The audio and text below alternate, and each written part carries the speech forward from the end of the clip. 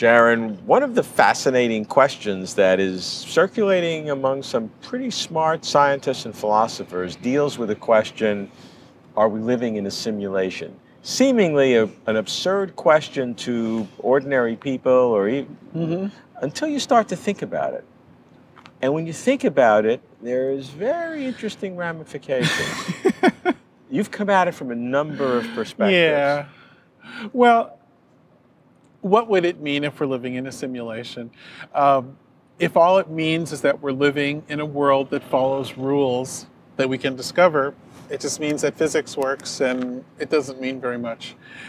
Usually, what people mean is something a bit more, I could say almost sinister, that there's like this other entity that's looking in on us somehow, some, that there's some player involved in our lives on a different footing than we have. That's what it ultimately boils down to and that and that entity would have created this universe. Well, maybe not. Maybe they just won it in a contest or something. Way back in the early days of virtual reality, we used to we used to um, imagine these crazy scenarios, like what if you raised a baby in virtual reality and never told this person that they were in a virtual world? You know, what would they be like? And of course, if we did it with the kind of virtual worlds we could build today, they'd be a neurological disaster because their body would never have developed properly. It would be very cruel. So we haven't tried that. Uh, but it's an interesting question. What if you had a really good world? Could you tell? So Hans Moravec, who back in the 80s, robotics researcher, CMU, he came up with this crazy argument. It goes like this. Let's suppose it's possible to build a virtual world that's so robust that somebody could plausibly limit it and not realize. Mm-hmm. Okay. Now, if it's possible, perhaps we'll do it. But we're in this big universe. Even if humanity doesn't do it, somewhere in the billions and billions of stars, some civilization will do it. And if they can do it once, they'll do it twice. Because once you can do a technological trick, you can replicate it. So eventually, if it's possible at all, there ought to be tons of virtual worlds. But there's only one base reality that all these virtual worlds in. Right. So if you suddenly find yourself born into some reality, the chances are it's right. a virtual reality because there's more of them. Okay, that's the argument. Now, the counter argument is interesting.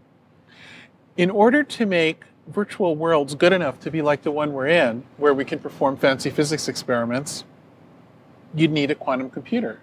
Well, would you absolutely need it? You'd be happier with a quantum computer. Oh, sure, because you have to simulate quantum events because we have yeah. quantum events in our world.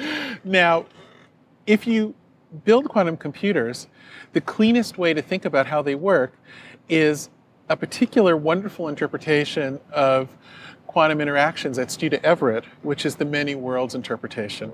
So this way of thinking has a lot of copies of your computer and they're all in different worlds and they're all running at once and that's why they can do tricks that just this ordinary computer in this world couldn't do. And then when you get your answer out you can think of it as discovering which world you're in. Okay. Now so, and all of those worlds in a sense have to be real not simulated worlds. They're all real. Yeah, yeah. now here's the interesting thing. Um, because the many worlds interpretation has become so much popular with the advent of interest in uh, quantum computing, now there are all these other ideas about multiple worlds. There's Max Tegmark's ideas, and there's Lee Smolin's ideas, and there's uh, the, uh, there's this idea of a landscape of string theory, cosmos.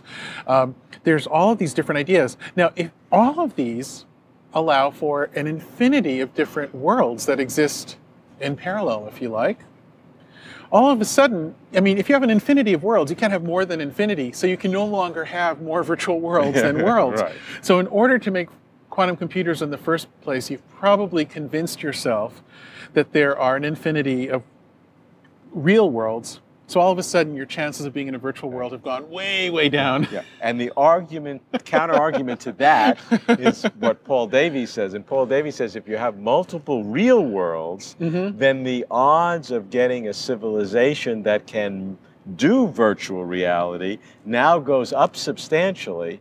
And when you can do multiple worlds, it will proliferate so rapidly that you're dealing with a higher order of infinity.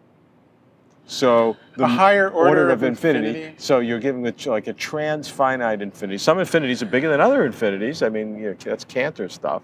So, so what what you have is the more you have multiple universes, the more likely you're living in a civilization. I think we're at the point where we don't yeah. know what we're talking about. I, I, I actually, you know, I've used diagonalization arguments on this, and I have to agree, we don't know enough. Um, but I will point out one other little thing, which is let's go back to this idea of the pimply kid who's looking in on us.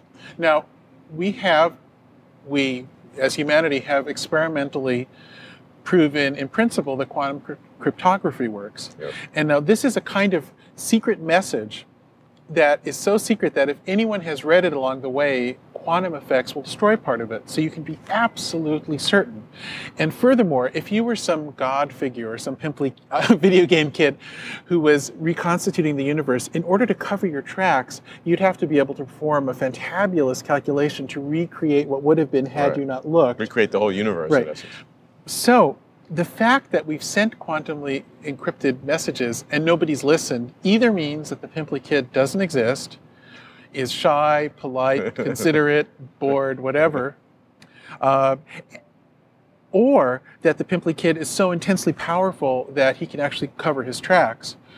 Um, either case makes me feel that we shouldn't pay attention to the pimply kid because if he's bored, not paying attention, or doesn't exist, forget about him.